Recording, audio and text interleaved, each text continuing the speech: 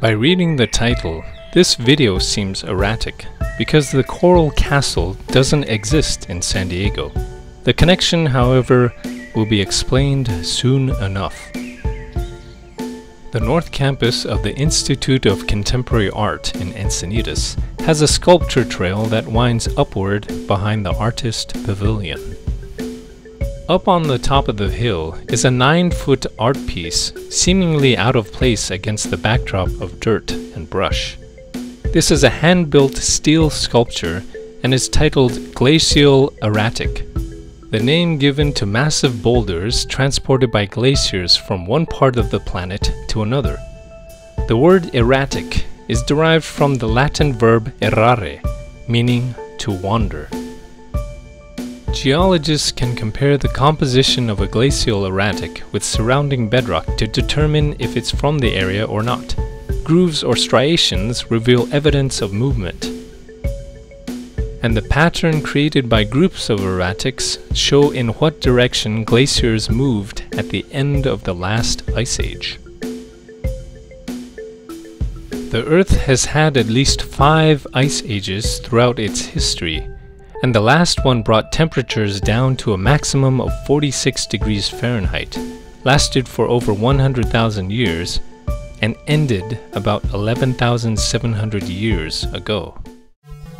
When is the next ice age? Some predictions say within 50,000 or 100,000 years. None of us will be around if and when it arrives, but we must consider the consequences of our actions for future generations. Due to the increased greenhouse gas emissions and carbon dioxide levels created by burning fossil fuels, for better or for worse, we're postponing the natural cycle of glacial formation by tens of thousands of years. Some of the glacial erratics have traveled hundreds of miles, riding on the backs of glaciers which have separated and broken off from the polar regions of our planet. The largest glacial erratic is the Okotoks erratic in Alberta, Canada, south of Calgary. Locally, it's called the Big Rock, measuring 135 feet long, 59 feet wide, and 30 feet tall. Pictographs indicate it was used as a landmark and it has spiritual significance for the indigenous Blackfoot tribe even today. It makes sense that a distinctive, unique glacial erratic like Okotoks acted as an indicator for location and exploration.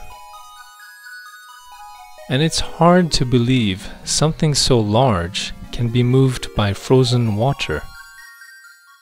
On a much smaller scale, Death Valley held a mystery since the late 1940s, and its solution in the last decade explains a similar way in which nature can move rocks.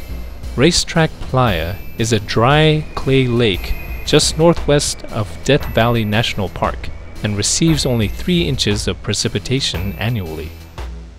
There are rocks on the lake bed, with trails dug into the surface suggesting they have moved on their own across the landscape.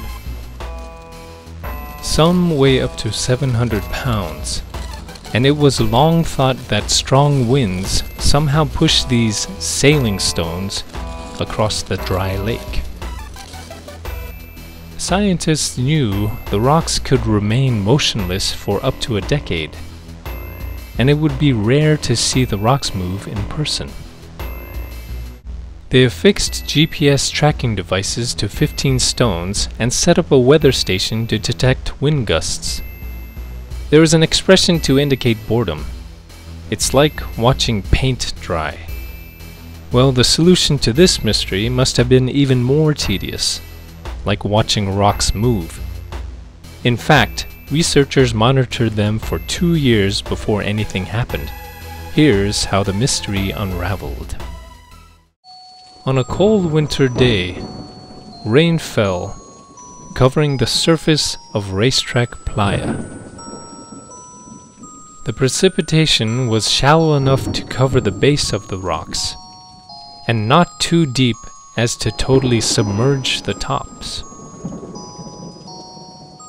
As the sun set, overnight temperatures dropped, freezing the surface layer of water into ice. On the following sunny day, a thin layer of ice, around a quarter inch thick, was resting on top of a few inches of liquid water. As the sun climbed higher in the sky, the heat from the sun began to melt the ice, causing large ice sheets to break off from one another.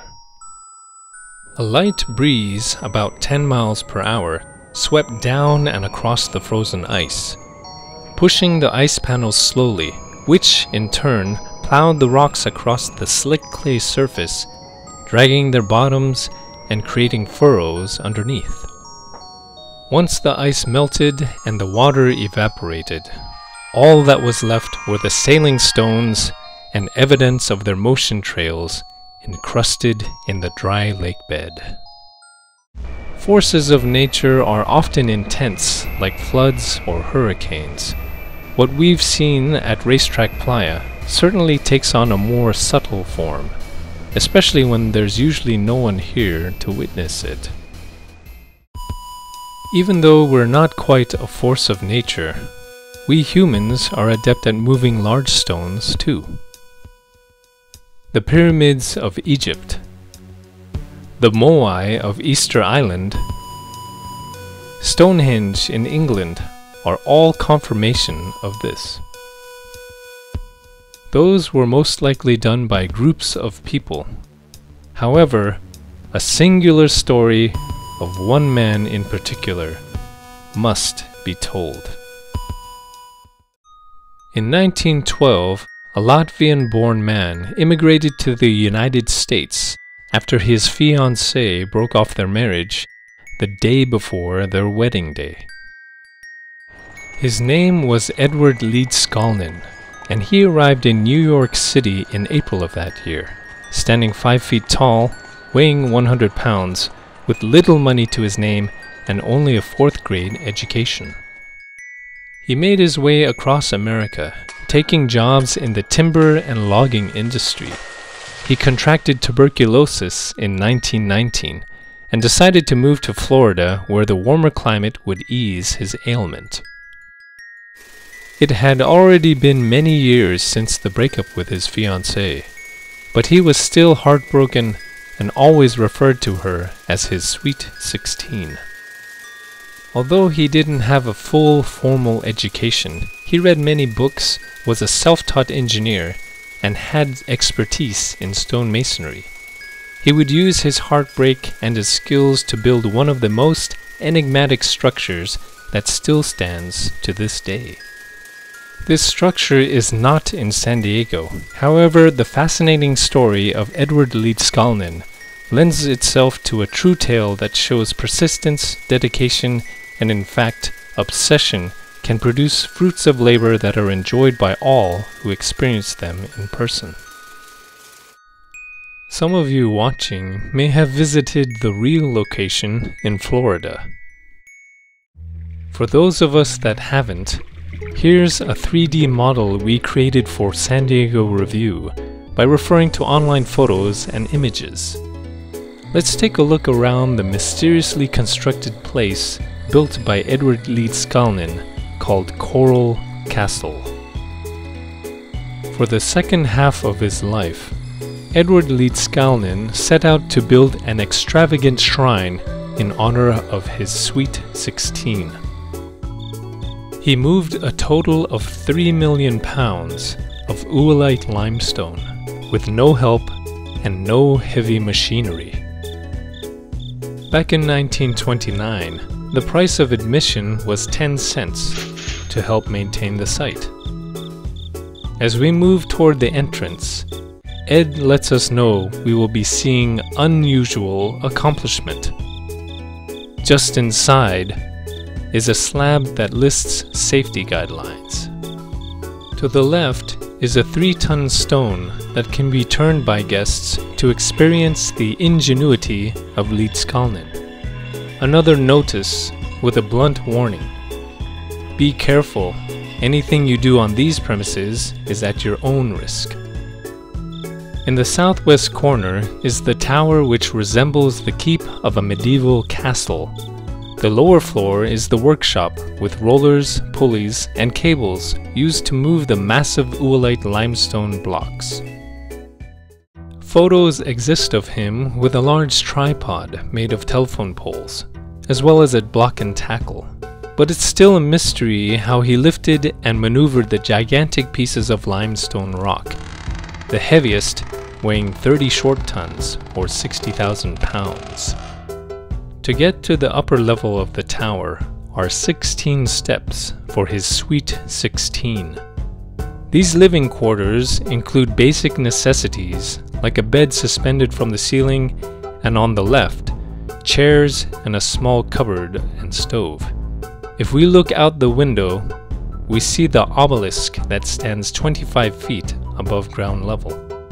We'll see the message on the obelisk in a few moments. But take a look at this. This limestone block has a face sculpted near the center. Some say it's an alien, Ed's Sweet 16, or just an artistic embellishment. It almost looks like Edward Leedskalnin himself. Many of the tools he used were old timber or salvaged automobile parts. As an example, the southeast corner has Ed's barbecue cooker. He most likely used it as a forge for making tools. Hanging in the center is a rear axle differential from a Ford Model T that could open and close to heat metal. Next to the forge is what Edward Leedskalnin called Repentance Corner, made with two openings designed to discipline those who misbehaved. Towering above is the obelisk we saw earlier. On this column are years when he started and moved the Coral Castle, along with his birth year and home country of Latvia.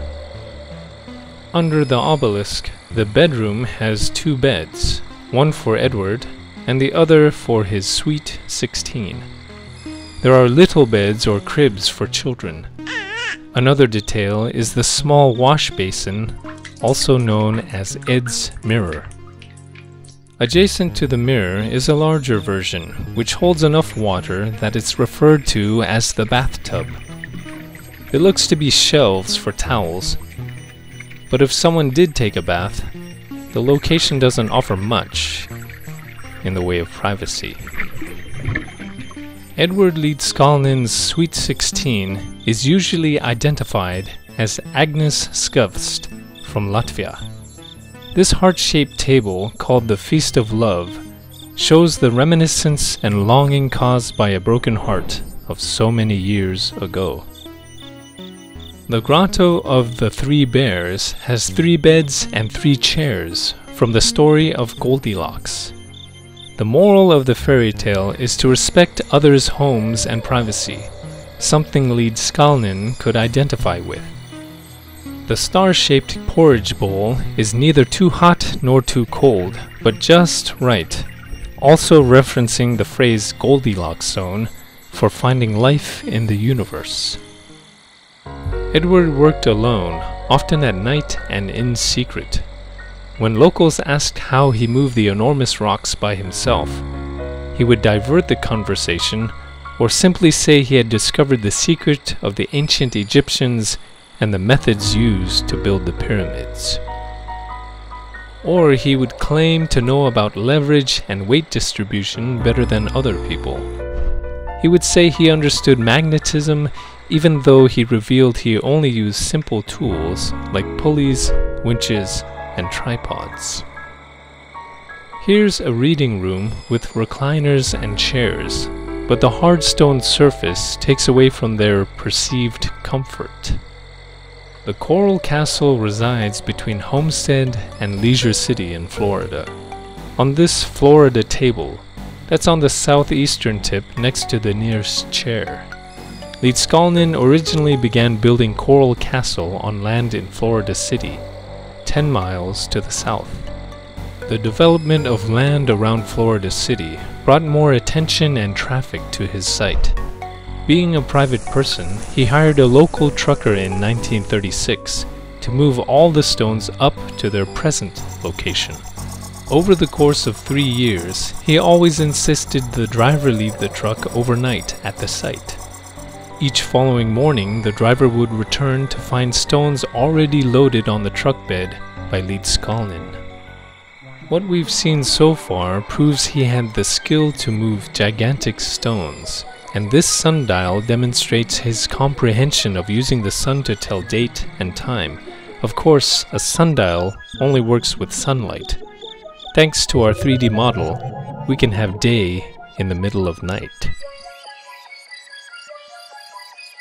An embedded metal piece casts a shadow onto the sundial surface. As it moves from left to right, it shows the time from 9 am to 4 pm, with the top of each loop in 30 minute increments. You see stretched figure eights surrounding each half hour. These trace out the observed movement of the sun in the sky during the course of a year, also called analemma. A shadow at the top of each loop will indicate the first day of winter solstice. A shadow that follows the bottom tells us it's the summer solstice. Somewhere near the middle will either be spring or fall equinox, depending on the progression toward the bottom or top. Edward Leedskalnin originally named his creation Rockgate Park after the heavy stones and gates used. In particular, here on the east side is the 9-ton gate. It was balanced so well it could be moved throughout its rotation with a single finger. To our right is a circular stone that leads down steps of a spiral well constructed by Leedskalnin. With no running water at the site, he dug this well deep enough below the surface to where the water level would sometimes rise or recede from the lower access area. Edward frequently worked under the starlit sky, and his creations reflect his fascination with planets, the moon, and other celestial bodies. Here is the moon fountain, with waxing and waning crescent moons, flanking a full moon with a star in the center of the water. Behind the fountain is an elevated dais, known as the throne room, with seats for a child Ed Sweet 16, and himself. Other thrones are toward the northeast, and above them are sculptures of Mars, Saturn, and what Ed called the Crescent of the East, with another smaller one next to it. The north wall of the Coral Castle has the heaviest stone on site, weighing 30 short tons or 60,000 pounds.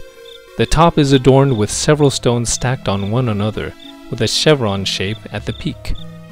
Further behind, we see the Polaris telescope that stands approximately 25 feet tall and is used as a celestial calendar. There is a small hole at ground level that points at the crosshairs in the tower. These align with the North Star Polaris located in the Little Dipper constellation. If the North Star is in the region of the upper right quadrant, it's winter solstice. If it's in the upper left, it's spring equinox. The lower left is summer solstice, and the lower right is the fall equinox. Edward Leedskalnin was living proof that anything can be accomplished if one is willing and able to spend enough time and energy to make a vision become reality. Creation of this virtual model of the Coral Castle certainly took determination and effort and hopefully the result is enjoyed by everyone watching, including yourself. Before our very eyes is the world lead Leedskalnin created in the second half of his life. It demonstrates we may reach our aspirations with dedication and perseverance, and perhaps even some obsession or mania, but ultimately the greatest satisfaction is gained by sharing that world with others. Whether it was magnetism, levers and pulleys, or just plain brute force, the Coral Castle exists over a century later, while its construction remains shrouded in mystery. There are ways to use small stones, shoring blocks, and sand to move massive rocks that far outweigh any human. Leedskalnin may have used these methods, but how much more interesting is it when we don't know for sure? Most of this video wasn't about San Diego, but if you're still watching, it must be of interest to you. If you enjoyed this video and all the original music, support this channel for free. Like, share, and subscribe. Thanks for watching San Diego Review.